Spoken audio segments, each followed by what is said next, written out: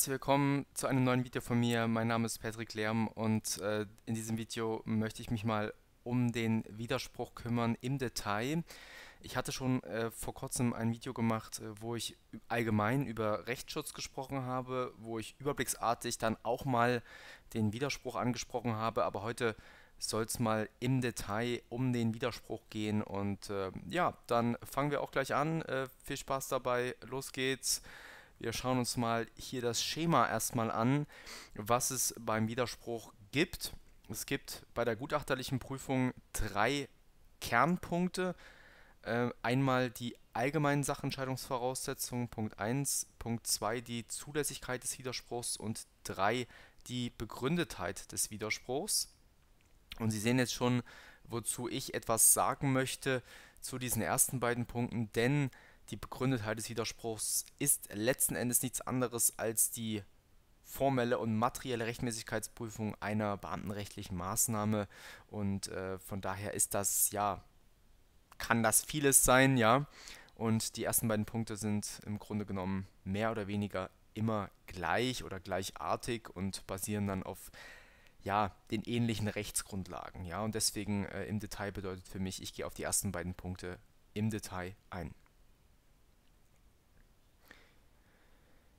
Ja, ich habe mal eine Folie entwickelt, äh, wo ich die Frage gestellt habe, ob äh, überhaupt eine dienstliche Maßnahme ein VA ist, ein Verwaltungsakt im Sinne des Artikel 35 Satz 1 Bayerisches Verwaltungsverfahrensgesetz. Warum habe ich diese Folie jetzt äh, gleich am Anfang gebracht? Es ist halt was den Verwaltungsakt anbetrifft, nicht gerade einfach zu sagen, im dienstlichen Bereich hat das jetzt diese Außenwirkung. Wenn ich einen normalen VA mir anschaue, der dann Außenwirkung damit entwickelt, dass er ja im Außenverhältnis gegenüber dem normalen Bürger wirkt, dann ist das ja im Beamtenverhältnis bei weitem nicht so. Und äh, man muss sich hier fragen, Außenwirkung, was sind die wesentlichen Kriterien? Und ich habe das jetzt mal äh, so ausgedrückt, ähm, dass wenn quasi die Grundfesten des Beamtenverhältnisses, wenn daran gerüttelt wird am Grundfundament, dass da letzten Endes der Verwaltungsakt, die Verwaltungsaktqualität auflebt. Äh, man differenziert auch manchmal zwischen dem Betriebsverhältnis und dem Grundverhältnis. Ähm, ich habe mal versucht, das Grundverhältnis zu definieren. Diesen Satz äh, sehen Sie dann hier. Und da kann man sagen, dass Begründungen, also Stichwort ähm, Ernennung, Ernennungsrecht, äh, wesentliche Änderungen, dazu zählt natürlich ähm, die Versetzung, ähm, die Abordnung, dass das VAs sind, wobei man da eben aufpassen muss, die Umsetzung ist eben kein VA, ähm, auch gemäß der Rechtsprechung und natürlich auch die Beendigung des Beamtenverhältnisses. Das sind so die Grundfesten. Da kann man sagen, okay, äh, das wird tendenziell das Grundverhältnis betreffen und deswegen Verwaltungsaktqualität. Ich habe das hier nochmal zusammengefasst äh, und auch ein paar Maßnahmen als Beispiel genannt. Maßnahmen mit VA-Charakter links, Maßnahmen ohne VA-Charakter rechts. Warum habe ich das jetzt äh, rechts orange äh, und links äh, rot gemacht? Links eben VA-Charakter und äh, rechts äh, letzten Endes Maßnahmen, die es nicht sind, die aber letzten Endes im Wege des Rechtsschutzes dann über den Leistungswiderspruch bzw. die Leistungsklage, vielleicht auch mal einen Feststellungswiderspruch, Feststellungsklage entsprechend auch angegriffen werden können. Das heißt, ähm, der Beamte ist in eigentlich praktisch nie wirklich rechtsschutzlos. Ja? Deswegen hier orange. Ja, und da habe ich jetzt hier mal links äh, Maßnahmen mit VA-Charakter zusammengesammelt. Ähm, ich habe über das Ernennungsrecht gesprochen, aber auch die Rücknahme von Ernennungen ist natürlich auch immer mal ein Thema. Abordnung oder Versetzung, das sind die wesentlichen funktionellen Änderungen mit VA-Charakter. Dann Entlassungsverfügung, Disziplinarverfügung, dann auch mal ein Leistungsbescheid im Zusammenhang mit der Haftung, dann Genehmigung, Ablehnung des Urlaubsantrags bzw eines Antrages auf Teilzeit. Also das geht so Richtung Verpflichtungswiderspruch. Ähm, wenn ich quasi meinen Dienstherrn zu etwas verpflichten will, was er mir nicht gibt sozusagen, auch diesen Weg kann man mal gehen. Aber auch oben, wenn Sie sehen, Versetzung, Abordnung, wenn ich quasi einen Antrag auf Abordnung stelle, das kann ja auch mal sein, und der wird dann nicht äh, genehmigt, das heißt, ich kann da auch Richtung Verpflichtungswiderspruch gehen. Also auch so hat, habe ich quasi Rechtsschutz auch bei den, bei den Maßnahmen. Ja, jetzt sehen Sie rechts äh, die Umsetzung. Ich habe es schon gesagt, kein VA und äh, dann in der Regel auch dienstliche Weisungen. Ich habe hier mal eine, ein Beispiel gefunden, auch Bundesverwaltungsgericht, ein Urteil von 2012. Sie sehen das Aktenzeichen. Da ging es um eine Anordnung ärztlicher, einer ärztlichen Untersuchung zur Feststellung der Dienstfähigkeit. Ähm, diese dienstliche Weisung kann dann angegriffen werden mittels Leistungswiderspruch und natürlich auch Beurteilungen, ähm, kein VA-Charakter. Ja. Das sind die drei aus meiner Sicht wesentlichen ohne VA-Charakter.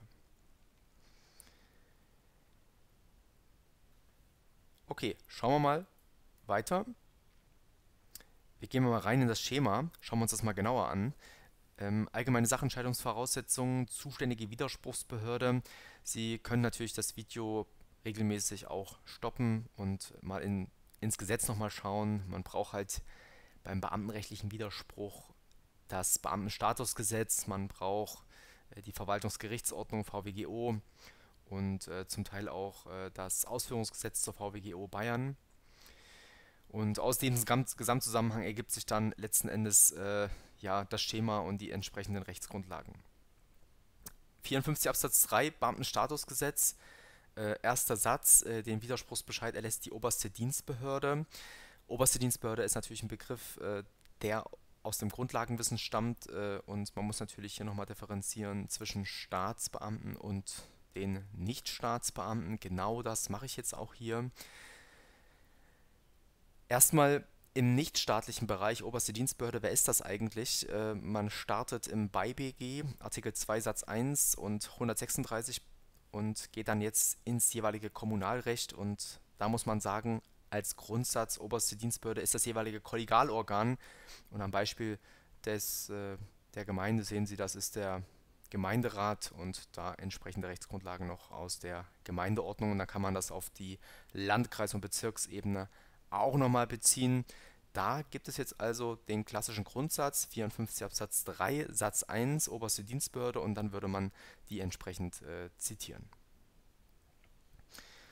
Bei den Staatsbeamten kann man ganz allgemein sagen, okay, das ist äh, das jeweilige Staatsministerium des jeweiligen Geschäftsbereichs, Ressortprinzip, aber hier lässt da, das Beamtenstatusgesetz eine Delegationsanordnung möglich oder eine Delegation mittels Rechtsverordnung ist da möglich, denn man muss sich hier eben vorstellen, äh, dass Widerspruchsbescheide jetzt grundsätzlich vom Staatsministerium verfügt werden müssen. Und das kann nicht ganz so im Sinne des Ganzen sein, weil da hängen natürlich sehr, sehr viele Behörden dran und sehr, sehr viele Entscheidungen. Und deswegen muss man hier 54 Absatz 3 Satz 2 und 3 lesen äh, der diese Übertragungsmöglichkeit auch ermöglicht. Die Anordnung ist zu veröffentlichen. Und diese Delegation im staatlichen Bereich habe ich Ihnen jetzt mal auf die nächste Folie gepackt. Ähm, ganz wichtig, äh, Sie brauchen äh, die Verordnung zur Durchführung des Paragraphen 54 Absatz 3 und äh, die gilt jetzt nur für Staatsbeamte und da finden Sie im Paragraph 1 zwei Absätze. Nummer also nicht Nummer 1, aber Paragraph 1 Absatz 1 äh, über den Widerspruch eines Beamten und so weiter in beamtenrechtlichen Angelegenheiten entscheidet die nächsthöhere Behörde.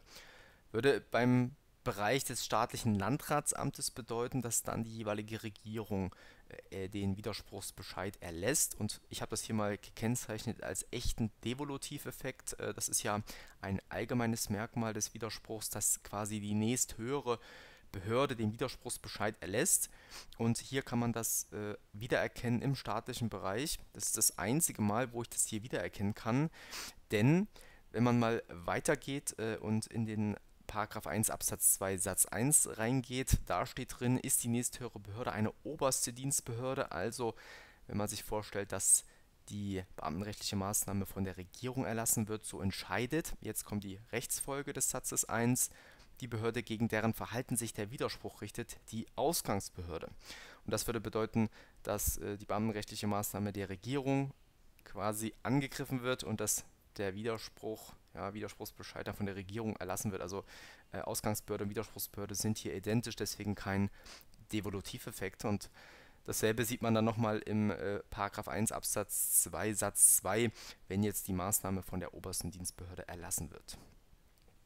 Okay, also man muss sagen, dieser Devolutiveffekt, äh, man merkt ihn oder man sieht ihn nur im staatlichen Bereich, staatliches Landratsamt und dann die Regierung. Sie haben es auch gesehen, im nichtstaatlichen Bereich ist auch Ausgangs- und Widerspruchsbehörde dann identisch.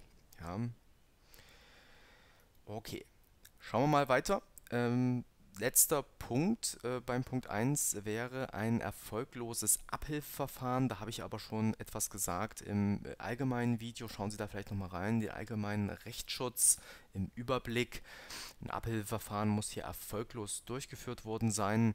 Und ähm, das ist grundsätzlich so, dass äh, vor Erlass des Widerspruchsbescheid ein solches Verfahren durchgeführt werden muss. Da gibt es in der VWGO äh, zwei, zwei Paragraphen, die darauf hindeuten, einmal 72 und einmal 73 Absatz 1 Satz 1 und hier ist es aber so, und das ist die herrschende Meinung, dass das in der Regel dann nicht notwendig ist, wenn Ausgangs- und Widerspruchsbehörde identisch sind. Und äh, das hatten wir gerade auch schon uns angeschaut äh, mit 1.1, dass es letzten Endes nur unten hier bei der Ausnahme ähm, im staatlichen Bereich, und da brauche ich mal meinen Textmarker hier, im staatlichen Bereich, wenn also das Landratsamt die Maßnahme erlassen hat, das wäre hier die einzige echte Ausnahme. Ansonsten ähm, ja, kann man sich hier mit dieser allgemeinen Regel im staatlichen Bereich außer Landratsamt und im nichtstaatlichen Bereich auf jeden Fall behelfen und dann ist das ein relativ kurzer Punkt. Okay, jetzt kommen wir zum zweiten Punkt, Zulässigkeit des Widerspruchs. Äh, der erste Punkt, äh, den ich da prüfen muss, ist der Verwaltungsrechtsweg, ist der eigentlich eröffnet? Wenn man sich äh, das Gesetz anschaut, Paragraph 54 äh, hat auch die Überschrift Verwaltungsrechtsweg und ist eine ganz spezielle Sonderzuweisung für die Beamten.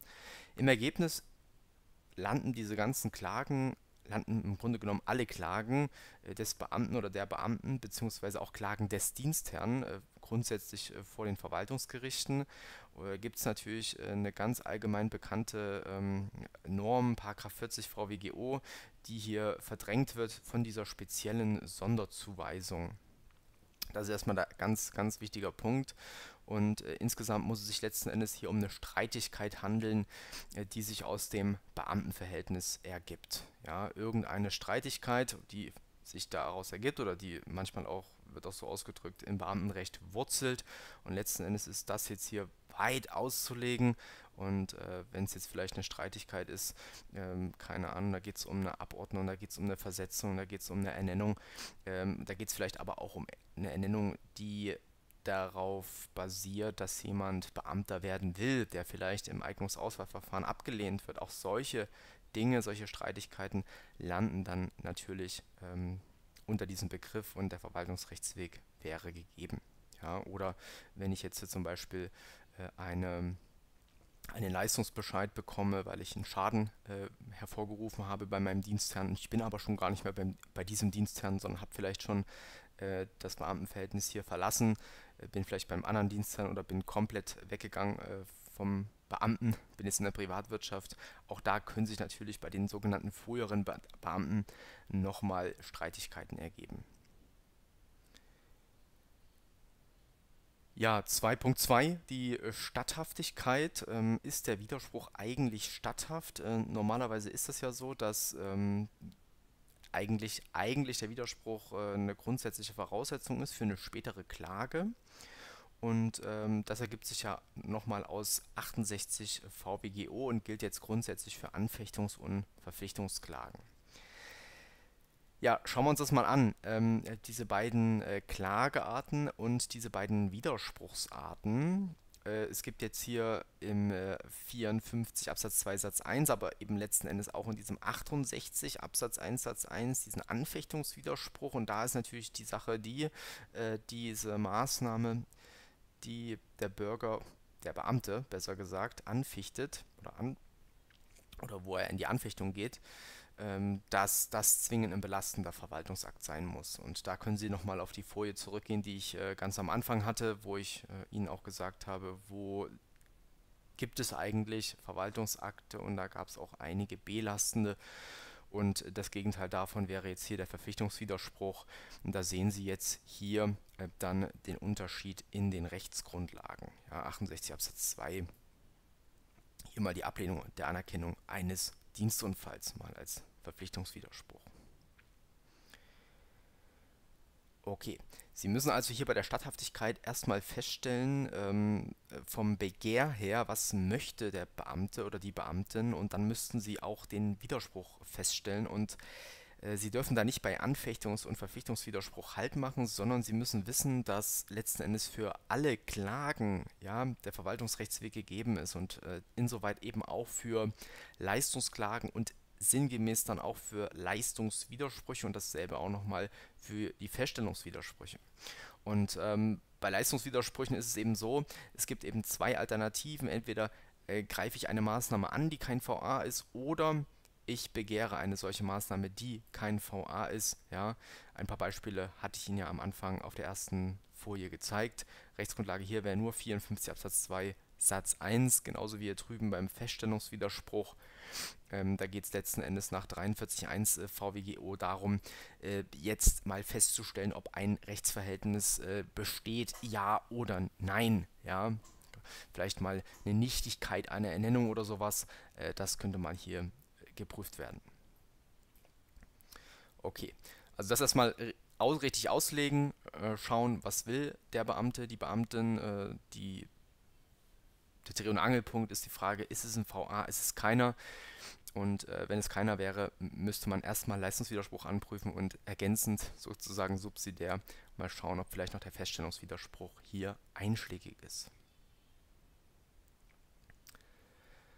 Ich bin noch nicht am Ende jetzt. Ähm, ich muss mich natürlich fragen, was sagt das bayerische Recht zum sogenannten Vorverfahren? Und die Öffnungsklausel wäre hier oder die Brücke letzten Endes zum bayerischen Recht wäre Paragraph 54, das sehen Sie jetzt hier oben, 54 Beamtenstatusgesetz, Absatz 2 Satz 3, ein Vorverfahren ist nicht erforderlich, wenn ein Landesgesetz dieses ausdrücklich so bestimmt.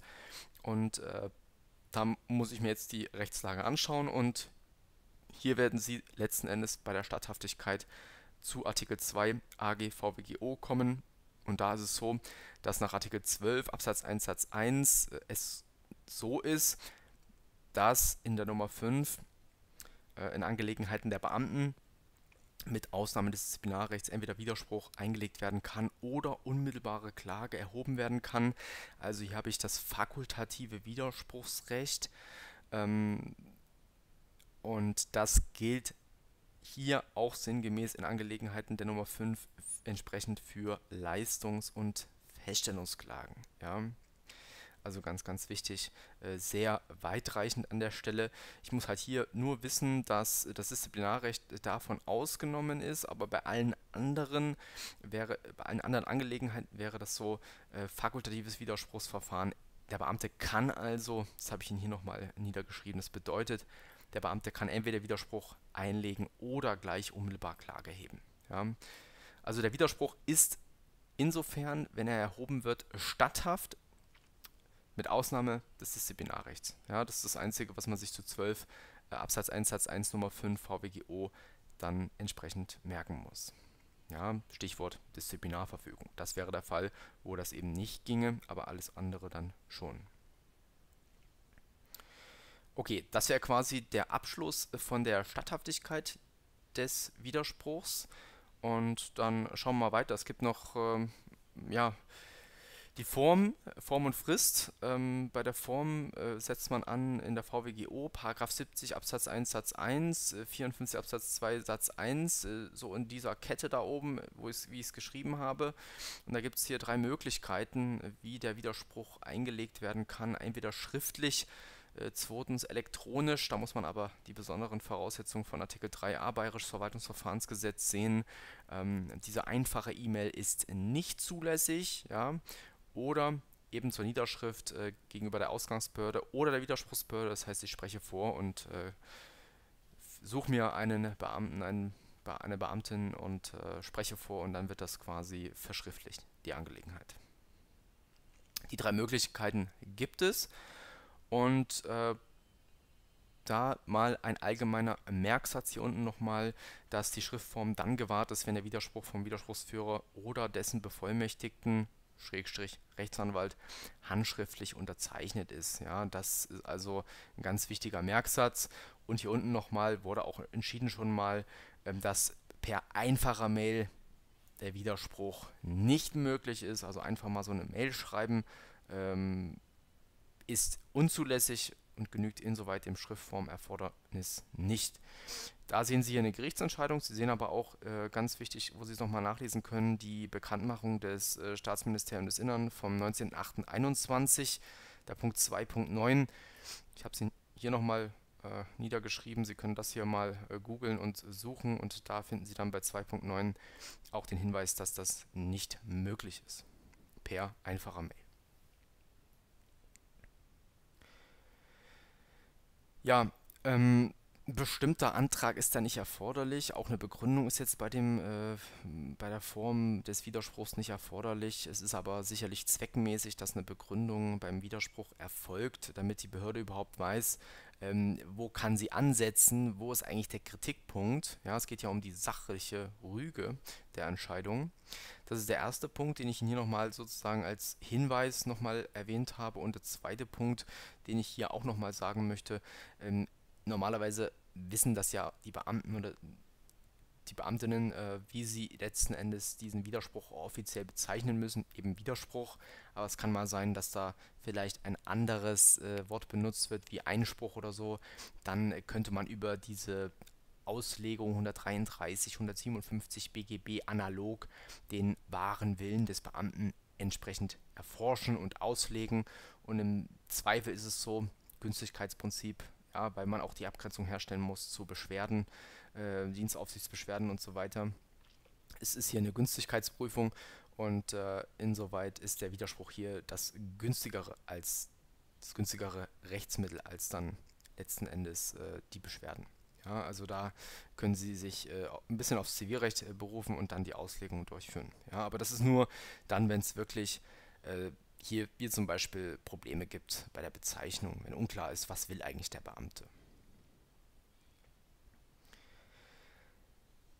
Ja, schauen wir uns mal die Frist an. Äh, normalerweise ein Monat, äh, 70 Absatz 1 Satz 1 äh, im Wege der Anfechtungs- und Anfechtungswiderspruchsgeschichte, äh, aber auch beim Verpflichtungswiderspruch ein Monat äh, die Frist für die Einlegung des Widerspruchs. Und hier nochmal die Rechtsgrundlage für die Fristenberechnung. Man setzt im Bayerischen Verwaltungsverfahrensgesetz an 79 Halbsatz 2 31 1 und dann kommt man zu BGB-Artikeln bzw. Paragraphen 187 und 188. Schauen wir uns diese Einmonatsgeschichte mal an. Ganz wichtig ist, dass ich natürlich den Tag der Bekanntgabe richtig ermittle. Das hängt natürlich auch ein bisschen so von der, äh, der Zustellung ab. Äh, die Frage ist, äh, ist eine Zustellung gewählt worden oder ist eine Zustellung sogar Pflicht? Wann ist eigentlich die Sache bekannt gegeben worden? Ich, das ist eben zu ermitteln. Wenn Sie den Tag aber haben, dann äh, nehmen wir den einfach mal hier, den 9.7. und dieser Tag zählt nicht mit rein in die Frist, sondern es beginnt dann am 10.07. sozusagen 0 Uhr die Frist des einen Monats und das Ende der Frist wäre dann der 9.8., das wäre dann quasi äh, der Tag der Bekanntgabe seiner Zahlen nach und eben ein Monat weiter, der 9.8. Und hier muss ich nur aufpassen, wenn sich dann äh, das auf den Samstag, Sonntag oder Feiertag äh, abspielt, ja, der 9.8., dann wäre dann der nächste Werktag, das das Fristende und das wäre dann hier der 10.8., da müsste man nochmal reinschauen in 193 BGB, äh, den müsste man dann noch zitieren. Das ist aber letzten Endes hier äh, nur etwas, was ich dann mache, wenn es wirklich erforderlich ist. Ansonsten, wenn es mal kein Samstag, Sonntag oder Feiertag ist, dann wäre das hier der 9.8. Ja. Eigentlich relativ leicht zu berechnen. Jetzt werden Sie sich fragen, okay, Anfechtungs- und Verpflichtungswiderspruch, das haben wir jetzt. Wie sieht es denn aus zum Beispiel mit dem Leistungswiderspruch? Ähm, ja,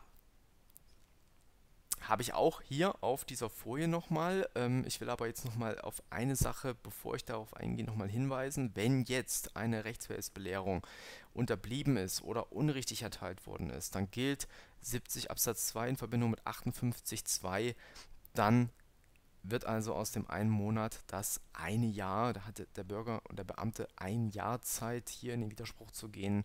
Das wäre also jetzt der Grundsatz in Anlehnung zum Anfechtungs- und Verpflichtungswiderspruch. Und wenn es jetzt zum Beispiel um den anderen Widerspruch geht, zum Beispiel einen Leistungswiderspruch, dann kann ich diese Monatsfrist nicht einfach so anwenden. Ja, dann gilt eben weder diese Monatsfrist nach 70 äh, Absatz 1 Satz 1 VWGO noch die Jahresfrist, die ich gerade angesprochen habe.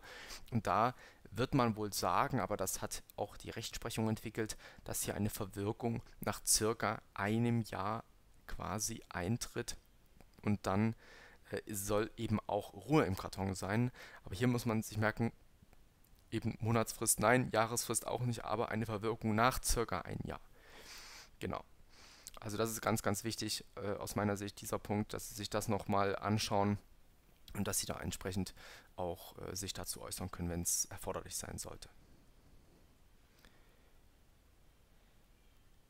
Ja, Widerspruchsbefugnis. Ähm, dann der letzte Punkt und äh, da geht es nochmal um die Person selber, um diese ja, individuelle Beschwer, würde würd ich sagen. Ähm, da muss man eben auch nochmal ansetzen, was für ein Widerspruch, um was für einen Widerspruch handelt es sich Anfechtungswiderspruch, das kennt man vielleicht auch von der Anfechtungsklage, die sogenannte Adressatentheorie. Äh, da muss man aufpassen, wenn man die Rechtsgrundlage zitiert, 42.2 VWGO analog, weil es sich eben hier um den Widerspruch handelt und 42.2 VWGO ja eigentlich ähm, die Klagebefugnis anspricht. Ähm, hier der Verpflichtungswiderspruch, falls mal so etwas der Fall sein sollte, auch 42.2 analog, gleiche Rechtsgrundlage. Und hier muss der Widerspruchsführer möglicherweise in seinen Rechten verletzt sein. Ich habe hier mal ein wichtiges Recht auch zitiert, Recht auf ermessensfehlerfreie Entscheidung nach Artikel 40 Bayerisches Verwaltungsverfahrensgesetz. Und dann eben diese beiden noch, die noch dazukommen, Leistungswiderspruch 42.2 analog, selbe Rechtsgrundlage wie oben, eine mögliche Rechtsverletzung muss vorliegen. Und beim Feststellungswiderspruch 43.1 VWGO und da langt es aus, wenn die Rechtssphäre oder wenn die Rechtssphäre des Widerspruchsbeführers ähm, berührt ist.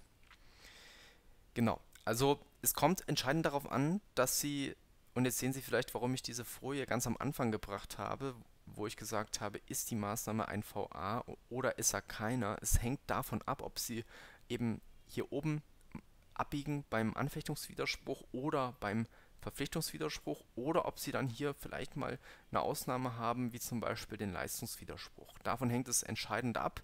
Ähm, lassen Sie sich da nicht verunsichern. Es ist teilweise echt schwer und wird auch bei der Rechtsprechung oder in der Rechtsprechung in den Urteilen öfter mal diskutiert, weil es eben nicht so einfach ist, äh, die Außenwirkung so festzustellen.